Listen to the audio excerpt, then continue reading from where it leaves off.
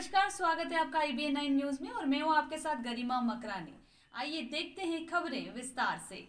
सतवास थाना क्षेत्र में आने वाले ग्राम चतरपुरा में महिला को जहरीला पदार्थ खिलाने का मामला सामने आया है। महिला को सुबह करीब 11 बजे जहरीला पदार्थ खिलाया गया था, जिसे उपचार के लिए पहले सतवास सरकारी अस्पताल में भर्ती करवाया गया।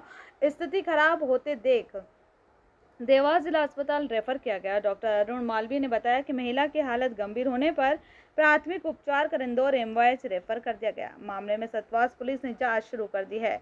बरोटा के नायब तहसीलदार सुभाष कुमार ने गंभीर हालत में रुखसार पति तालिम खां निवासी चतरपुरा के बयान लिए। बयान देते समय रुखसार उल्टियाँ कर रही थी। बयान लेकर नायब तहसीलदार रवाना हो गया इस दौरान रुखसार के परिवार का युवक मोबाइल से वीडियो बना रहा था, जिसे नायब तहसीलदार के कहने पर पुलिस ने हिरासत में ले लिया। नायब तहसीलदार का कहना है कि ये गोपनीय बयान है, जिसे अन्य व्यक्ति रिकॉर्ड नहीं कर सकता। महिला की शादी दो हज़ार अठारह में हुई थी उसकी एक बेटी भी है। नाम है और अभी आप किसको लेकर आए जिला अस्पताल में? मेरा नाम नूर खान है मैं पेशेंट का बड़ा भाई हूँ। क्या नाम है पेशेंट का? पेशेंट का नाम रुखसार है सर। पिता?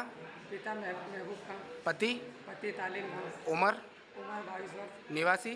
निवासी इसका मालिक है सर बामनीपुर के ससुराल छतरपुरा। आज क्या हुआ था?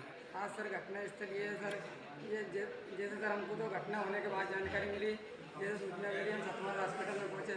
हाँ। तो ये जो है कि इनके ससुर ने इलाज करा रहे थे, हमने मुझे क्या कारण होगा कि मैं तो उल्टी उल्टी कर रही थी, फिर हमने बच्चे को होश नहीं थी उस समय, फिर हमने मालूम करा बच्चे से तो बोले, मेरी सास ने और तुम्हारा जीजा ने मिलकर मेरे को दवा पिला दी।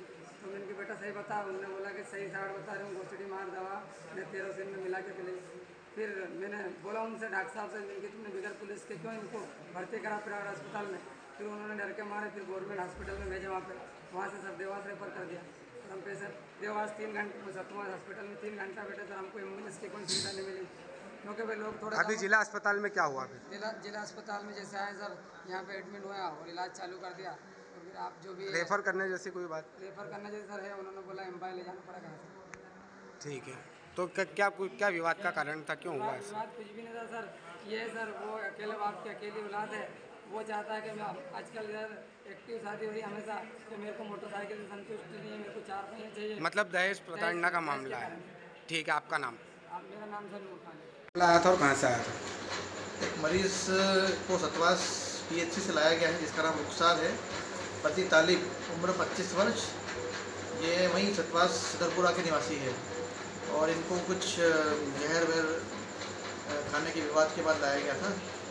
तो अभी इसका ट्रीटमेंट हमने किया है और मरीज़ की हालत अभी स्थिर बनी हुई है लेकिन हम उसे आगे रेफर कर रहे हैं। आपका नाम मैं डॉक्टर अरुण मालवी अभी के लिए इतना ही। लगातार खबरों के लिए बने रहिए आई बी न्यूज़ के साथ। नमस्कार।